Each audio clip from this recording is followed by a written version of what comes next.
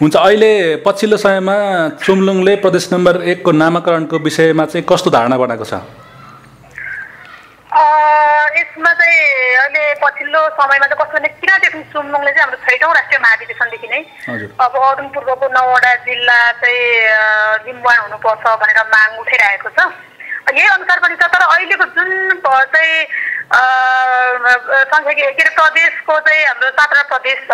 सत्र प्रदेशमा एक नम्बर प्रदेशमा चाहिँ त्यो नौवटा जिल्ला प्लस फेरि चौधवटा जिल्ला भएकोले चाहिँ बहु पहिचानको आधारमा चाहिँ नामाकरण हुनुपर्छ भन्ने छ। र यसमा पनि बहु पहिचानमा पनि चाहिँ अब लिम्बुवान चाहिँ छुटाउनु हुन्न भन्ने नै हो हाम्रो किराँत सुम्लुङले चाहिँ। अब किराँत लिम्बुवान हुनसक्छ किराँत लिम्बुवान कोसी हुनसक्छ होइन। तर चाहिँ लिम्बुवान चाहिँ त्यो कुनै न कुनै हिसाबले छुटिनु हुन्न भन्ने नै हाम्रो तर्क छ। र यसमा नि फेरि किन हामीले चाहिँ यो माग गऱ्यौँ भन्दाखेरि चाहिँ हिजो पैँसठी जतिको आन्दोलन पछि पनि हामीले चाहिँ लिम्बुवान प्राप्तिको लागि पनि चाहिँ दुईजना शहीद पनि हुनुभएको छ होइन।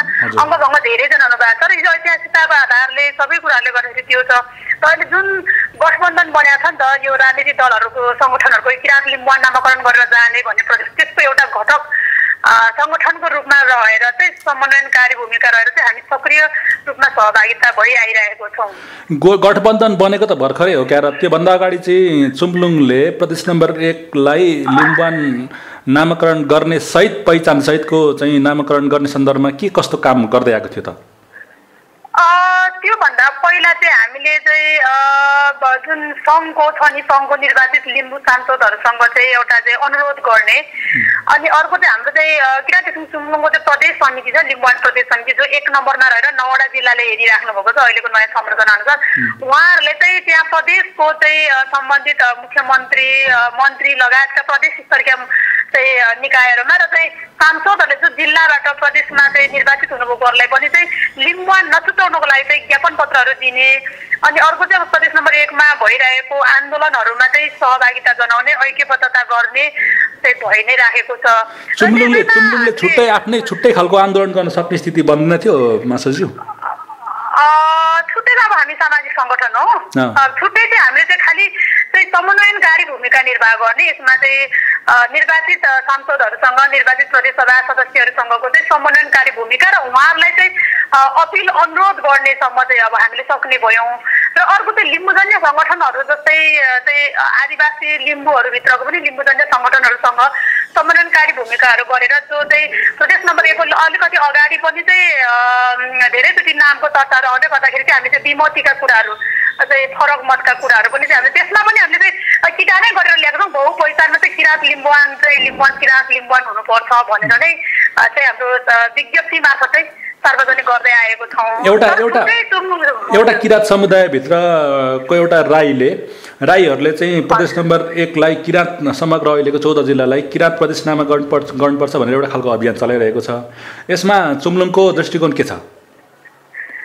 यसमा चाहिँ छ, हामी सामाजिक अभियन्ता हो सामाजिक अभियन्ता भएको हिसाबले चाहिँ आफ्नो दृष्टिकोणहरू आफ्नै दृष्टिकोणहरू सार्वजनिक गर्न पाइन्छ गर्न सकिन्छ। तर यसमा चाहिँ किराँत राई आयोखासँग पनि के छ भन्दाखेरि चाहिँ अब आन्तरिक कुराहरूमा चाहिँ हामी हामीभित्र चाहिँ अब उहाँहरूको पनि चाहिँ उच्च चाहिँ महाधिवेशनले दिएको म्यान्डेट अनुसार उहाँले किराँत प्रदेश माग्ने हामीले पनि चाहिँ पुनः संख्याकीकरण गरेर चाहिँ हाम्रो महाधिवेशनको म्यान्डेटले दिए अनुसारको चाहिँ हामीले लिम्बुवान माग्ने त्यो विषय भएकोले गर्दाखेरि चाहिँ हामी अब आन्तरिक रूपमा चाहिँ द्वन्द सिर्जना नगरी आफ्नो आफ्नो एजेन्डा आफ्नो आफ्नो पहिचानको एजेन्डालाई लाने भन्ने छ र अर्को चाहिँ बहु पहिचानमा पनि चाहिँ उहाँहरू पनि चाहिँ बहु पहिचानमा हामी जाने तर पनि अब खालि चाहिँ अब चाहिँ ब्यानरिङै दिएर अगाडि आउने कुराहरूमा चाहिँ अलिकति छलफल र बहसहरू उहाँले गरिराख्नु भएको छ। तर दृष्टिकोण दिने कुराहरूमा उहाँहरूको दृष्टिकोण र उहाँहरूको चाहिँ के भन्छ महाधिवेशनले दिएको म्यान्डेटमा त उहाँहरू जान पाउनुहुन्छ। नि त्यसमा त हाम्रो त्यस्तो असर केही छैन। तर बाहिर चाहिँ अलिकति चुम्लुङले लिम्बू के अरे राईहरू अलिकति प्रदेश नम्बर एकको ठुलो सङ्ख्यामा रहेको चाहिँ जातिहरूको बिमेल भनेर चाहिँ अलिकति अरूले आरोप लगाइराखेको छ तर यो आरोप चाहिँ नलाउनको लागि चाहिँ म अपिल गर्न चाहन्छु। होइन यस्तो देखिँदैन र सामाजिक संस्थाहरू जस्तै किराँत राई आयोखाले चाहिँ लिम्बू खम्बू होइन सबै किराँती हुन् त्यस कारणले प्रदेश नम्बर एकको नाम किराँत राख्नुपर्छ भनेर एउटा खालको अभियान चलाउने। होइन उसले चाहिँ किराँत लिम्बुवान अथवा लिम्बुवान किराँत भनेर उसले नभन्ने। र चुम्लुङले चाहिँ फेरि हामी पनि किराँती हौँ अहिलेको लागि प्रदेश नम्बर एकलाई किराँतै नामाकरण गर्दा हुन्छ भन्ने हिसाबले पनि त्यो अभियान गर्न नसक्ने। दुइटै सामाजिक संस्था आफ्नो ठाउँमा हजुर, होइन, होइन। च- चुम्लुङ त मैले पनि भने नि हामी त हाम्रो पनि त मान्छेले दिएको त अब लिम्बुवानै हो होइन? हामी त्यसो पूर्ण सङ्ख्या के गर्दा आठौँ प्रदेश भएर चाहिँ अब अर्को सङ्ख्याले लिम्बुवान हुनुपर्छ भन्ने नै हो हाम्रो त आन्दोलन मुद्दा हाम्रो माग त्यही नै हो। तर पनि अहिलेको वर्तमान स्थिति हेर्दा चाहिँ चौधवटा जिल्ला छ त्यो चौधवटा जिल्लाहरूमा चाहिँ हामीले त्यो दुईवटा कुराहरूमा चाहिँ त्यो नस आफ्नो दृष्टिकोण हो र अर्को कुरा चाहिँ सामाजिक संस्था हो हामीहरू भनेको। सामाजिक संस्थाले राजनीतिक सङ्गठनहरूसँगको समन्वयनकारी भूमिका गरेर सहजीकरण गरेर अभियानहरूमा तर पनि राजनीतिक दलहरूले नै बोकिराख्नु भएको छ नि त यहाँ त। सबैभन्दा मेजर कुरा चाहिँ किराँत लिम्बुवान भनेर चाहिँ पूर्व नेकपाभित्रको चाहिँ घटक सङ्गठनहरूले चाहिँ धार्मिक सङ्गठनहरूले बोकिराख्नु भएको छ। कुमार लिम्बु लिम्बुवानको मुद्दा उहाँले बोक्नु भएको छ। अनि चाहिँ हरेक पार्टीको चाहिँ किराँत मोर्चाहरूले बोकिराख्नु भएको छ। अब तपाईँले त भर्खरै पनि सत्रवटाको चाहिँ आइराखेको छ। सबैभन्दा मुख्य कुरा त यो हो नि राजनीतिक दलले नै बोकेको मुद्दामा हामीले सामाजिक हिसाबले गर्दा र हामीले चाहिँ थाकतलोको हिसाबले हाम्रो अधिकारको हिसाबले हामीलाई उहाँहरू सँगसँगै समन्वयन गरेर घटक भएर मात्रै भएको कुरा हो। अब यहाँ खालको के देखिन्छ भने पहिचान त लिम्बुवानको पहिचानलाई उसले हामीले नजरअन्दाज गरेको होइन तर अहिलेको लागि एक नम्बर प्रदेशलाई पहिचानको आधारमा नामाकरण गर्नको लागि एउटा साझा एउटा दृष्टिकोण बनाएर जान सक्थ्यौँ हामी तर त्यो सकेनौँ भनेको छ।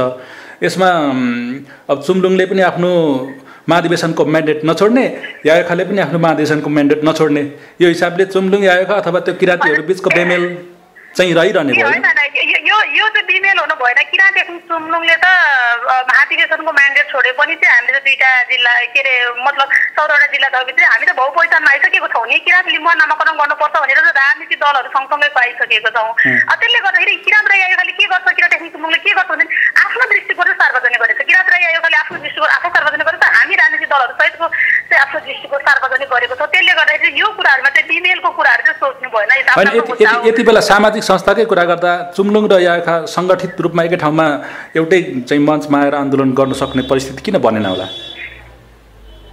होइन यो हामी छलफलमै छौँ किनभने हामी पहिलादेखि पनि या यो खाडोसँग हामी छलफलमै छलफलमै छौँ र यो छलफल आन्तरिक छलफल बहसमा चाहिँ हामी छौँ। र यसले निष्पक्ष चाहिँ निष्कर्षको टुङ्गो चाहिँ उहाँले दिइसक्नु भएको छैन। छलफलमा चाहिँ तर अर्को चाहिँ सकारात्मक छलफलमा त्यो नकारात्मक कुरामा छैन र अर्को कुरा चाहिँ साझा मिल्ने कुरामा मात्रै एकछिन चुम्लुङ र किराँत रहेको साझा मिल्ने मुद्दामा त हामी सँगै छौँ नि अब यो नामाकरणको कुरा त आफ्नो आफ्नै मुद्दा पनि हुन सक्दैन तर जुन साझा अब हामी धर्मको कुरामा हामी साझा छौँ यहाँको अनेक यहाँको चाहिँ किराँत दरबारसँग पटक दरबारसँग जोडेको कुरा समाज स्थलसँग जोडेको कुराहरूमा त हामी चाहिँ सबै ठाउँमा साझा छौँ। तर म्याडम तर एक खालको एक खालको लिम्बू एक खालको लिम्बू कमिटीको अगुवाहरूले चाहिँ लिम्बूहरू पछिल्लो समय किराँत नै हामी होइनौँ हामी अलग्गै हौँ याकथुम्बाहरू मात्रै हौँ भनेर भन्ने पनि गरेका छन्।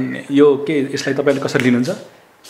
यो चाहिँ अहिले अब बहसमा चाहिँ आएको छ। अब इतिहाससँग जातिसँग नेमिङ दिएको अर्को चाहिँ उपनाम दिएको भनेर चाहिँ बहसमा चाहिँ आएको छ। तर अब हामी पनि चाहिँ यो बहसलाई चाहिँ हामीले पनि सबै कुराहरूलाई चाहिँ मानेर चाहिँ एउटा चाहिँ व्याख्या गरेर चाहिँ छलफलहरू चाहिँ गरिरहेका छौँ। हामी प्रत्येक राष्ट्रिय चुम्लुङ मार्फत महाधिवेशन मार्फत कार्य पत्र मार्फत चाहिँ हामीले छलफल गरिरहेको छौँ तर अब पहिला हामीले चाहिँ दोस्रो महाधिवेशनले चाहिँ हामी चाहिँ किरा समुदायभित्रको लिम्बू हो भनेर हामीले किटान गरेका छौँ होइन चुम्लुङले संस्थागत धारणाको विषयमा यसले गर्दाखेरि चाहिँ हामीले अब यसलाई फेरि अर्को चाहिँ महाधिवेशन नआइकन अर्को बसको टुङ्गो नभएसम्म चाहिँ हामी अर्को याखुङमा मात्रै भन्न चाहिँ सक्दैन हामी समुदायभित्रको चाहिँ लिम्बू हो भन्ने नै हो अन्तिममा अब यो एक नम्बर प्रदेशको नाम पहिचान बेगरको कोशी या सगरमाथा भएको खण्डमा त्यस पछाडि चुम्लुङ के गर्छ कसरी आन्दोलन अगाडि बढ्छ?